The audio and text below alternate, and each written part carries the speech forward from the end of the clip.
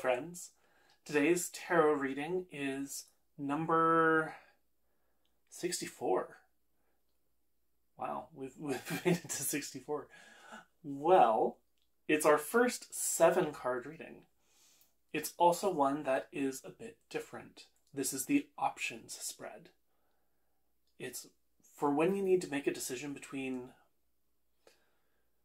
two paths and you're struggling to understand the consequences of each path. Once again, we will be using the Fantastical Creatures Tarot, and we will see what these wee little beasties have to tell us today. As always, this is a demonstration. This is showing you how you can use tarot. For this one, we're using the entire tarot deck, and typically you would be beginning with a question where you say, which option is best? And then you have to say, what is option A and what is option B? So, for example, for myself, yeah, because I've been stressing over this for a while. There are people in my life who I put on timeout, you could say. And the time period in which they are not supposed to contact me is drawing to a close. So option one, let it just finish and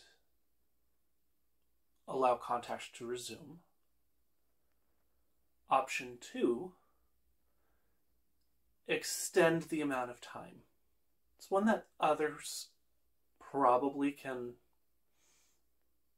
empathize with a little bit. We've all got we all have people in our lives who are difficult to deal with. We've all got those people who we love dearly, but know we have bad habits in dealing with them. That's the kind of scenario I'm talking about for myself here. Card number one is the choice that must be made. It is the start point. And then we'll have two rows of three cards each that give additional information about that choice.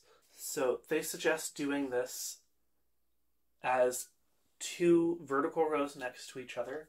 I am adapting it slightly because of the confines of my camera, where I will have two rows, uh, one on top of the other.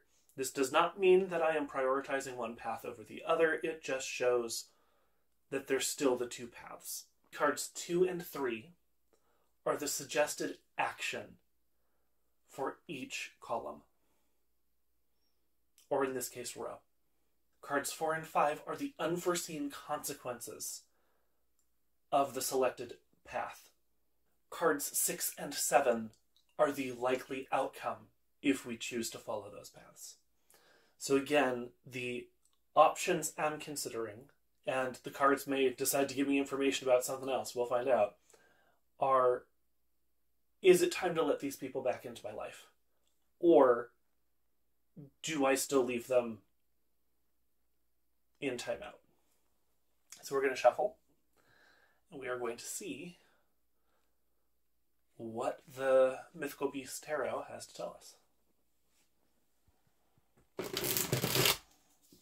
I'm sorry, Fantastical Beasts. Helps if I use the right name for it. Okay.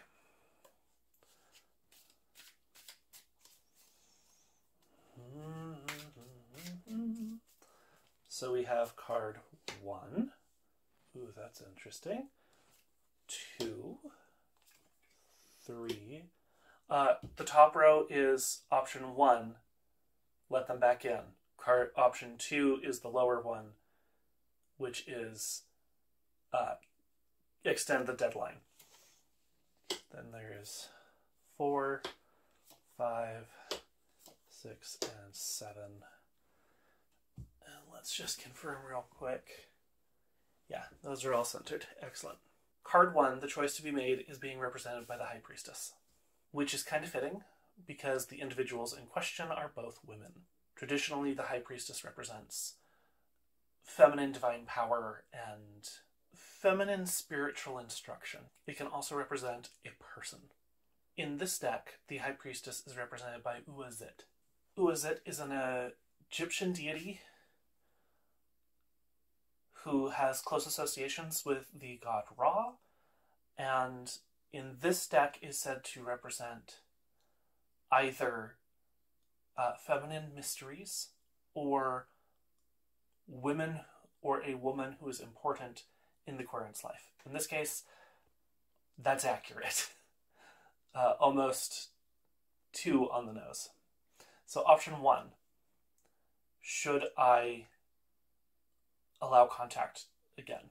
Who Death Reversed is the first card in that row. In this deck, Death is represented by Anansi, the spider trickster deity from Africa. And he's all about looking at things from a different perspective. Death is not just endings, it's also new beginnings. As a being in folklore, he is a creator being, and he often tricks people into doing what is best for them. Being reversed, we'll, we'll see if that's actually best, or if it's just a trick. Because there's myths of him doing both. Card number two in that row is the moon, which is illusions. It is not always seeing things for what they are, traditionally. In this deck, it is represented by the unicorn. In many myths, the unicorn is a supporting character, one who encourages the hero to become their best self, to know themselves. This feels like it isn't a recommendation to seek out the truth, to look beyond what's being said, beyond the demands and the questions, and see what the reality of the situation is. The next card is the expected outcome if I reinitiate contact, which is the Six of Cups. The Six of Cups represents memory, recollections. In this case, it is being represented by by Yemaya. She is a goddess of the ocean, and within the booklet for this deck,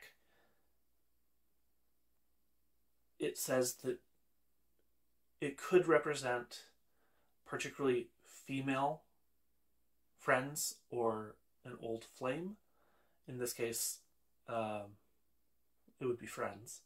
And that you can use the positive memories you have with these people to move forward. So, all in all, that path seems like there will be work to be done, but it would be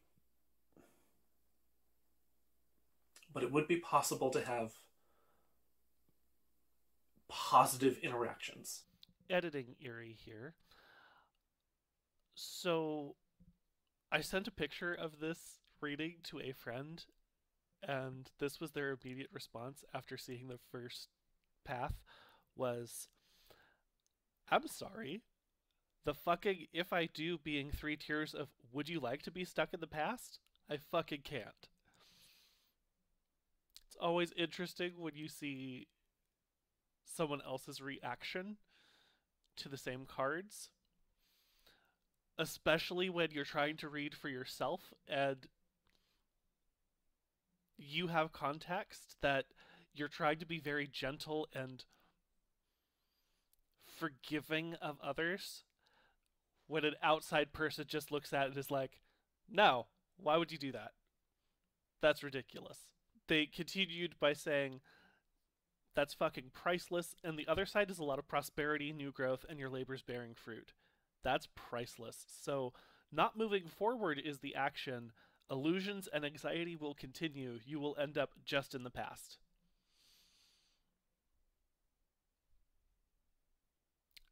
I feel like the cards really called me out, and I was trying so hard to be diplomatic, but uh, outside perspective, something to be aware of when reading tarot for yourself. Sometimes you need someone else to be like, "Dude, you're trying to be so nice about this, and the cards are not being nice right now." So we will uh, get back into it now. So the second path, or the second option, the choice or the action is being represented by the King of Pentacles. So the King of Pentacles here is being represented by the Green Man, the Old Man of the Woods, Cernunnos, which is particularly interesting because I have felt more of a draw, more of a connection to Cernunnos over the last couple of years. More kinship, I should say. In a traditional sense, the King of Pentacles represents a man who is good with his money, someone who has his house in order. So it seems like the option here is focus on my own house and getting my own house in order. If I choose to not reintegrate with these other individuals. The second card on that path is the Ace of Cups, which are the unforeseen consequences. In this deck, the Ace of Cups is represented by water fairies. Small fey beings who interact with and thrive on human emotion. As is traditional with the Ace of Cups, it represents the beginning of an emotional cycle, an emotional awareness.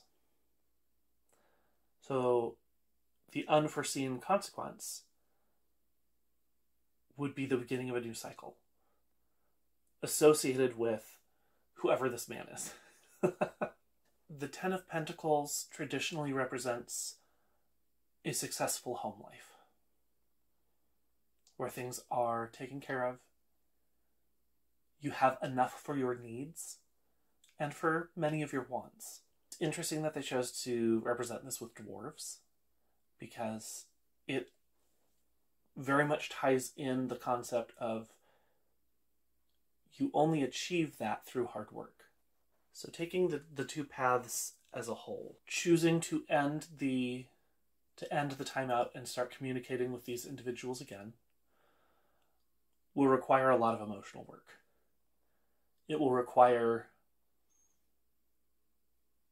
realistically it will require therapy it will require looking cautiously at everything that is said and digging for the truth that is behind the words rather than the words themselves. And honestly, that just sounds exhausting right now. Option two would be continue focusing on myself as I have been for the last several months. Still going to be some emotional changes, some emotional cycles here, but it feels like that provides a greater sense of peace, of actually solidifying my position in my own house, in my own household. So I'm definitely going to need to think about this. But that's the options spread. I know that got kind of personal today, but I didn't see a better way to demonstrate it other than to actually show one of my own dilemmas right now. We are entering holiday seasons, and holidays are complicated for a lot of people, myself included. I see. Let me start that over. I have lost the joy of most holidays and am trying to learn how to derive joy from them again. And in looking at this reading and that understanding, I feel like I need to build my own traditions, my own way of celebrating things, and let those who are trying to force their own agenda pound sand. I need to focus on what brings me joy, not yield to their desire of control. Because they're not actually happy at these holidays either. They just want everyone to pretend to be happy. Well, that got heavy. Please do all the YouTube things like, comment, subscribe. And if you enjoy what I'm doing, I now have a buy me a coffee page. So if you find yourself with a little extra disposable income and feel like throwing some my way, feel free. Until next time, walk in the light, my friends. Bye.